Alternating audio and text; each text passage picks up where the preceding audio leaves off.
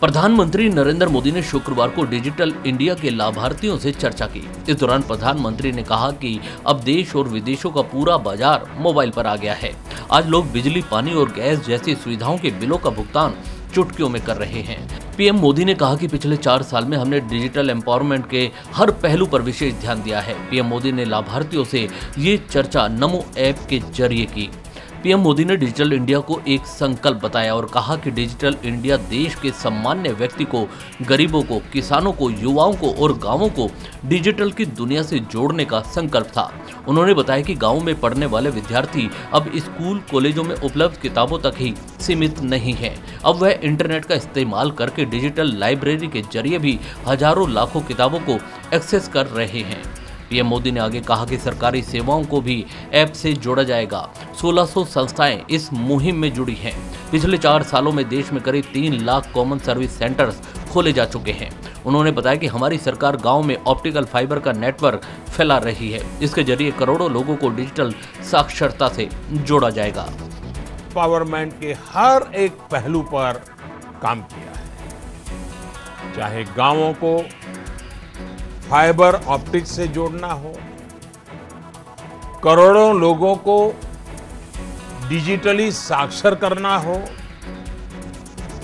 सरकारी सेवाओं को मोबाइल के माध्यम से हर एक के हाथ में पहुंचाना हो,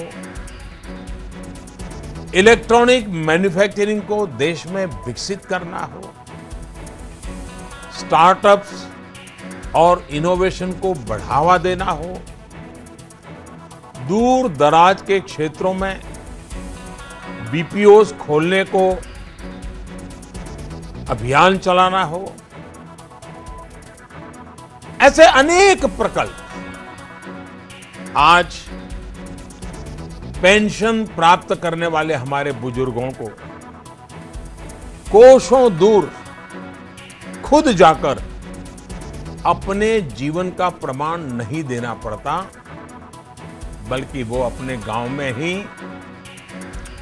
common service centre CSC centre से पहुँच करके बड़ी आसानी से काम कर सकता है। देश का किसान, मौसम का हाल जानना हो, फ़सल के संबंध में जानकारी लेनी हो सॉइल आदि के बारे में जानकारी लेनी हो तो बड़ी आराम से आजकल प्राप्त कर रहा है।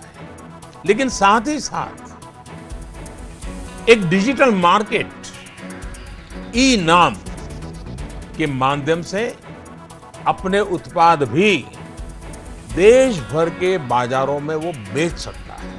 अपने एक मोबाइल फ़ोन के माध्यम से या सीएससी के सेंटर पर जाकर।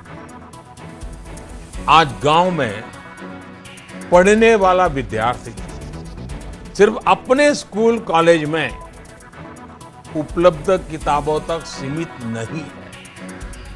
वो इंटरनेट का इस्तेमाल करके डिजिटल लाइब्रेरी के ज़रिए लाखों किताबों को एक्सेस कर रहा है। वह अब स्कॉलरशिप की धनराशि के लिए स्कूल, कॉलेज के पुरानी सिस्टम पर निर्भर नहीं है।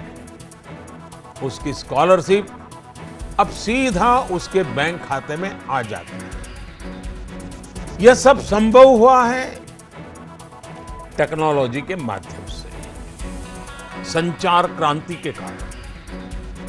आज से कुछ वर्ष पहले तक महानगरों से दूर, छोटे शहरों, कस्बों और गाँव में रहने वालों के लिए इस बात की कल्पना भी मुश्किल थी कि रेलवे टिकट बिना स्टेशन पर गए हुए बिना लाइन में लगे हुए रेलवे टिकट बुक हो सकती है।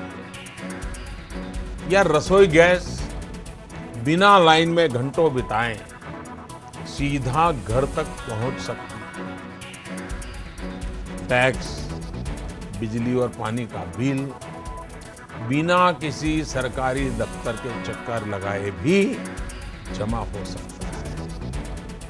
लेकिन आज ये सब संभव है। आपके जीवन से जुड़े तमाम ज़रूरी काम अब बस उंगली भर की दूरी पर होते हैं। और ऐसा नहीं है कि कुछ चंद लोगों को ही यह उपलब्ध है। हर एक को उपलब्ध है।